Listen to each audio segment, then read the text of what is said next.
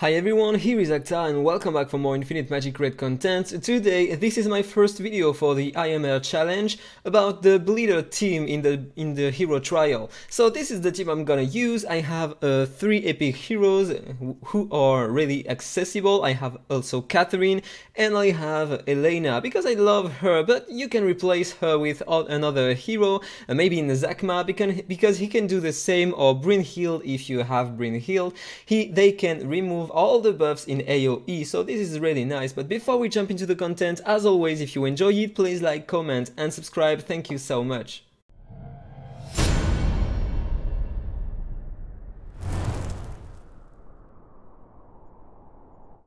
So, this is the team I am using here. Let me explain a bit. Uh, so, First of all, Catherine, because there is only one hero in the uh, opponent team who can apply some controls on my heroes. So she is the fastest in my team, only exclusive 3 because it can be accessible. Uh, I can change it a bit. Let me uh, modify it because we don't care about the third exclusive. Normally the second one is the most accessible. Uh, it's not that hard to get her exclusive to normally. So uh, what happens here? Let's run the fight and see.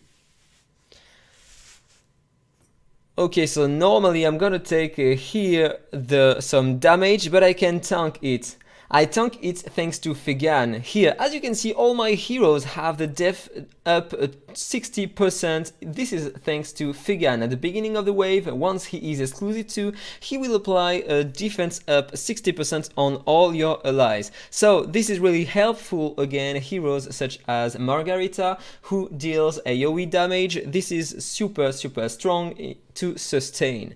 So, uh, now, I have Catherine who plays right after uh, the other enemies, so she can cleanse the uh, freeze on my heroes, so they will be able to act. Now, I'm gonna use this on my heroes, the counter attack and the shield, so they are safe. And now, Elena is really important here, because as you can see here, Luna is stealth, so even if you have a single target buff remover, you won't be able to target her. So this is why it's important in this kind of team to have an AoE remo removal skill. So you can use also Nazakma here. He will do even better because he will steal the buffs. But Elena is also great thanks to her passive because she reduces the critical damage taken by my allies by 28%. So this is nice to sustain one more time against a nuker such as Margarita. So let's remove buffs here nothing else remaining on the enemies. Now I want to do this on uh, on Elik because uh, this skill can stun one enemy so if I can apply it on the enemy but before let me ju do just a simple adjustment here.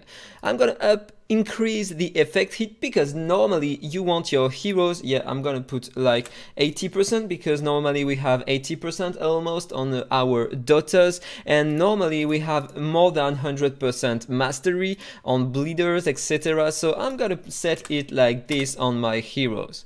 This is important and okay so I'm gonna apply the dots and also let me normally on support we have maybe 50% effect hit so let me adjust it here.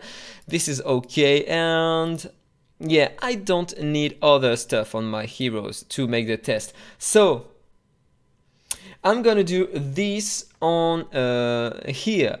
Him Elik here. So I'm gonna stun him. Okay he is stunned now, let me show you this, why Ofner is an excellent bleeder hero and one of the best bleeder in the game. Look at this, let me show her skills.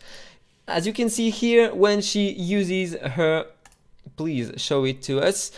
She she will deal uh, three stages of attack on one enemy, one target, and so she can inflict up to three bleeds thanks to this. But this is not everything about her. If you read her passive, she has more some chains on every attack to inflict one extra bleed. So that means using her ultimate you have up to six uh, bleeds on the enemy.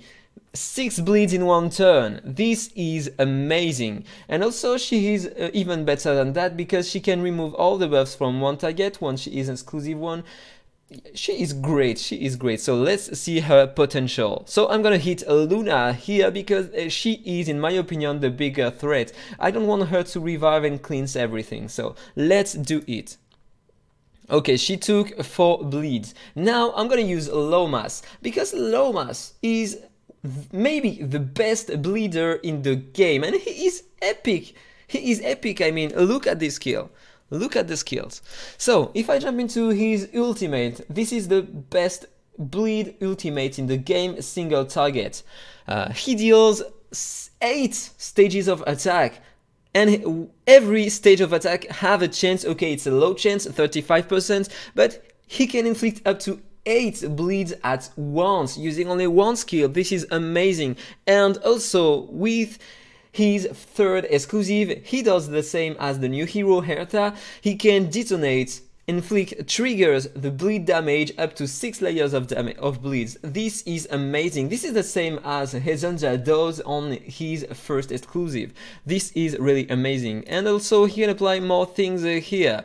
Uh, he can apply def defense down, effect rest down on his basic attacks. So if you use him with Catherine, he will apply, apply effect rest down 1 and speed down 1 on his basic attack. This is amazing.